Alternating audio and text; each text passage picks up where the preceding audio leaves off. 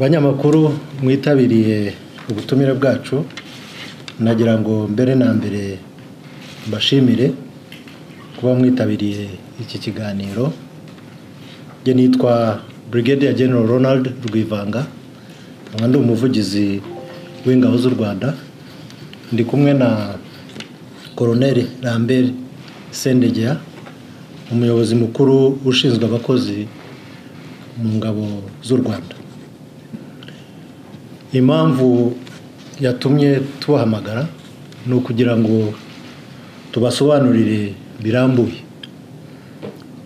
Urwego rw'inkeragutabara imiterere n'imikorere y'uru rwego nk'ishami rimwe mu mashami ane agize igisirikare cy'u Rwanda ariyo ingabo zirwanira ku butaka land force. Ingabo zirwanira mu kirere air force. Ingabo zishinzwe ubuzima military health service n'ingabo z'inkeragutabara reserve forces. Iki kiganiro kigamije gusobanurira abanyarwanda muri rusange n'urubyiruko by'umwihariko igikorwa cyo kwinjiza mu ngabo inkeragutabara bakwitabazwa. Iyo bibaye ngombwa ibisabwa kugira ngo wemererwe kujya muri buri mutwe w'inkeragutabara imiterere y'akazi n'ibigenerwa umuntu. Wahamagariwe iki gikorwa cyo kunganira abasirikare basanzwe mu kazi kabo ka buri munsi. Mu rwego rwo kongerera ingabo z'u Rwanda ubushobozi n'ubumenyi mu ngeri zitandukanye umutwe w'inkeragutabara urateganya kuzagira ingabo ziri mu byiciro bitatu bikurikira. Icyiciro cya mbere inkeragutabara bitabazwa mu bikorwa bya gisirikare abo twita operational reserve aba ni urubyiruko ruri hagati y'imyaka cumi n'umunani na makumyabiri n'itanu y'amavuko. Aba batoranywa mu muryango nyarwanda bagatozwa mu gihe cy'amezi atandatu bakaba bakwifashishwa bibaye ngombwa mu kongerera no kunganira ubushobozi n'ubumenyi bw'abasirikare b'u Rwanda basanzwe mu kazi kabo ka buri munsi. Icyiciro cya kabiri.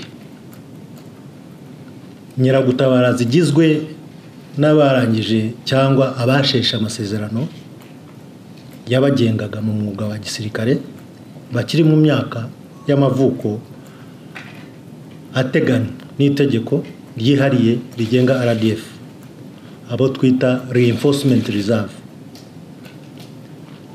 Iyo wasezerewe mu ngabo cyangwa ukaba waragiye mu kiruhuko cy'izabukuru duteganya ko mu myaka itanu ushobora kuba reinforcement reservist ukunganira ingabo ukaguma tuba dushaka abantu bafite ubumenyi bw'abayikuriyemo ikaba yaziba icyuho mu murimo wabo wa buri munsi. Icyiciro cya gatatu ni icyiswe strategic reservists. Aba ni abanyarwanda bafite ubumenyi bwihariye. Bazobereye mu bintu bitandukanye byo kongera RDF ubushobozi. Muri iki cyiciro tuzasangamo abasivili bafite ubumenyi bwihariye. Kandi bukenewe muri RDF binjiye mu mutwe w'inkeragutabara nyuma yo guhabwa imyitozo.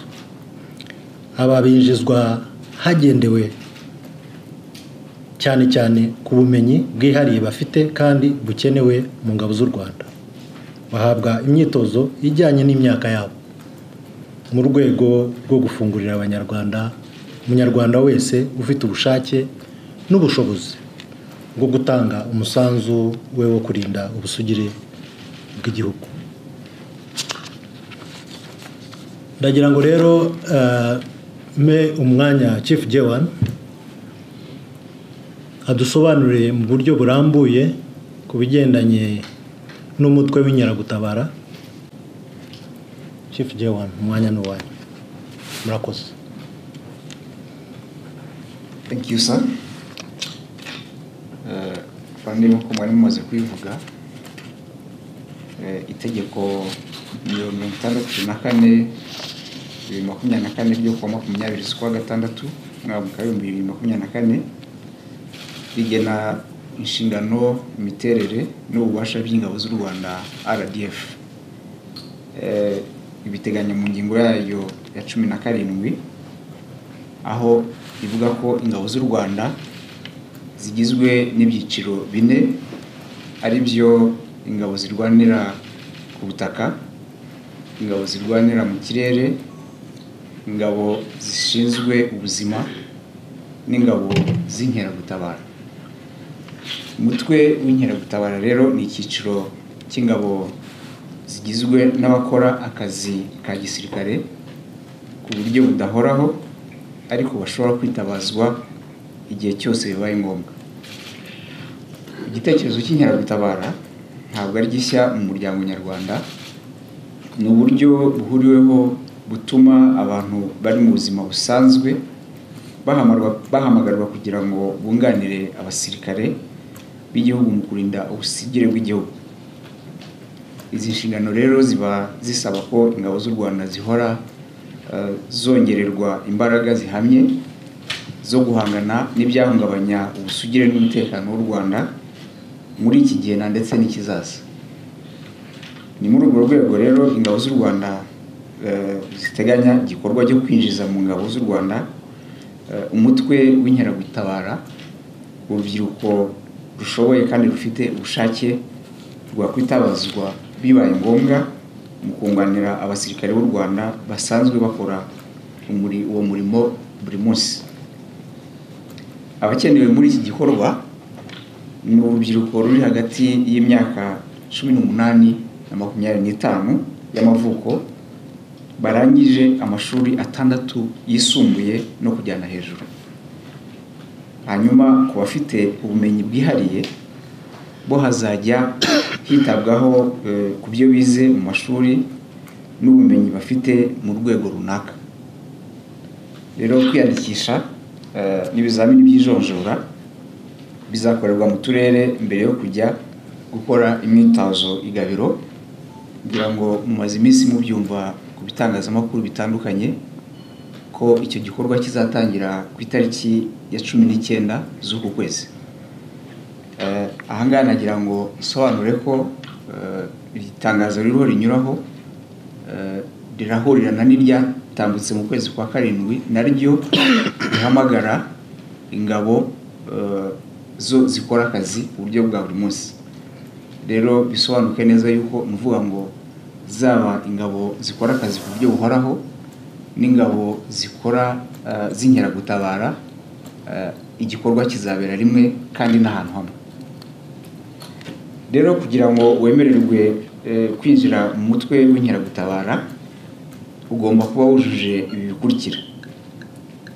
Ugomba kuba uri umunyarwanda ugomba kuba uri hagati y'imyaka cumi n'umunani na makumyabiri n'itanu ugomba kuba ufite ubuzima buzira umuze ugomba kuba utarakatiwe n'inkiko ugomba kuba uta- utarakurikiranyweho ibyaha n'inkiko ugomba kuba utagaragara ku rutonde rw'abirukanwe mu mirimo ya leta kereka warahanaguweho ubusembwa ugomba kuba utagaragara ku rutonde rw'abatemerewe kuba abakozi ba leta. Ugomba gutsinda ibizamini bizatangwa. Ugomba kuba uri indakemwa mu mico mu myifatire. Ugomba kuba ufite ubushake bwo kwinjira mu ngabo z'u rwanda umutwe w'inkeragutabara. Ugomba kandi kuba wararangije amashuri eh, atandatu yisumbuye no kuzamura. Kuri cya cyiciro cya strategic eh, reserve ho ugomba kuba ufite nibura impamyabushobozi. Impamyabumenyi ya kaminuza eh, ushaka kujya ku mutwe w'inkeragutabara na ndetse ufite ubumenyi bwihariye eh, bivuze ngo special skills na experience. Iyo watsinze eh, ibizamini biteganywa by'ijonjora eh, ujya ku mahugurwa ya gisirikare azabera i Gabiro. Ahangaha eh, amahugurwa ateganyije kuzamara amezi atandatu ariko na nyuma y'amahugurwa ni ukuvuga ngo abarangije amahugurwa bikateganyijwe ko bazakora amezi cumi n'umunani nyuma y'uko bashobora kwemererwa gusubira ubuzima busanzwe. Rero iyo urangije amahugurwa ya gisirikare ni bwo uhita witwa inkeragutabara. Kandi ukabihererwa certificate. Iyo umaze kwitwa inkeragutabara amategeko afite ibyo akugenera. Hari iteka rya minisitiri w'ingabo z'u rwanda rigena uburenganzira n'ibigenerwa inkeragutabara. Minisitiri w'ingabo ashingiye ku itegeko nshinga rya repubulika y'u rwanda mu ngingo zaryo za ijana makumyabiri na rimwe ijana makumyabiri na kabiri n'ijana mirongo irindwi na kane ashingiye kandi ku iteka rya perezida eh, nimero makumyabiri na kabiri zeru rimwe ryo kuwa makumyabiri na rimwe z'ukwezi kwa cumi bibiri na cumi na gatandatu rihindura kandi ryuzuza iteka rya perezida nimero mirongo itatu na gatatu zeru rimwe ryo kuwa eh, gatatu ukwezi kwa cyenda bibiri na cumi na kabiri. Rigena imiterere n'inshingano zihariye bya buri cyiciro mu bigize ingabo z'u rwanda cyane cyane mu ngingo ya cumi na rimwe Eh, abinjira mu mutwe w'inkeragutabara bazajya bahembwa umushahara n'ibindi byose bagenerwa mu gihe bari mu myitozo no mu gihe bahamagawe kuza mu kazi bingana n'ibyo abasirikare bari mu kazi ka buri munsi bahabwa abasirikare bari mu rwego rumwe nk'uko biteganywa na sitati yihariye y'ingabo z'u rwanda. Bafite uburenganzira bwo kutamburwa akazi basanzwe bakora mu gihe bahamagawe gukora amahugurwa ya gisirikare cyangwa bahamagawe gukora akazi ka gisirikare. Ahangaha ni ukuvuga ngo iyo umuntu arangije amahugurwa y'ibanze ya gisirikare kugira ngo agakomeza agakora akazi hanyuma akaza gusubira mu buzima busanzwe. Hari igihe kigera akongera guhamagarwa gukora amahugurwa ya gisirikare. Niko bigenda mu gisirikare duhora twitoza kugira ngo dushobore gukora inshingano zacu neza.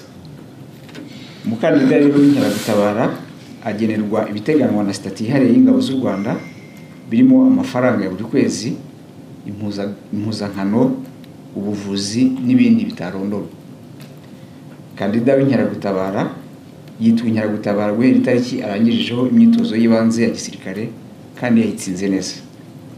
Nyuma yo gusoza amahugurwa inkeragutabara bahabwa seritifika nk'uko nari nabivuze kandi banasinya amasezerano yo gukora muri rdf nk'inkeragutabara Eh, ku nkeragutabara eh, yasubiye mu buzima busanzwe hanyuma igahamagarwa mu kazi. Ka gisirikare aba afite uburenganzira bukurikira eh, iyo afite akazi eh, afite uburenganzira bwo kutirukanwa ku kazi asanzwe akora. Afite uburenganzira ku mushahara n'inyongera zijyanye nawo afite n'uburenganzira bwo kudatakaza eh, umushahara yahembwaga. Afite uburenganzira mu kuzamurwa mu ntera iyo yujuje ibiteganywa na sitati yihariye y'ingabo z'u rwanda. Afite kandi uburenganzira ku bwishingizi bw'indwara iyo ari mu mahugurwa cyangwa ari mu kazi.